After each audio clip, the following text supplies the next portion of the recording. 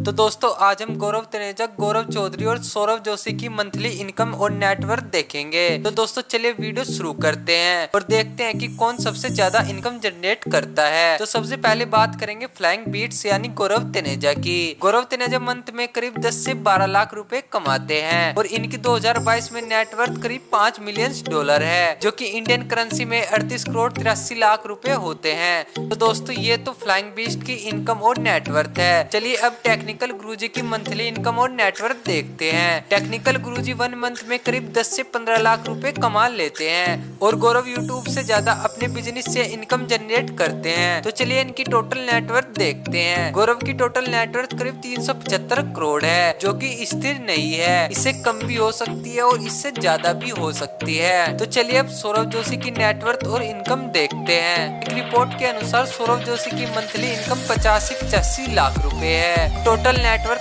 19 करोड़ रुपए है तो दोस्तों सौरभ जोशी और गौरव तनेजा टेक्निकल जी से पीछे हैं इनकम जनरेट करने में गौरव चौधरी नंबर वन पर है तो दोस्तों आपका तीनों में से कौन सा फेवरेट है हमें नीचे कमेंट में जरूर बताएं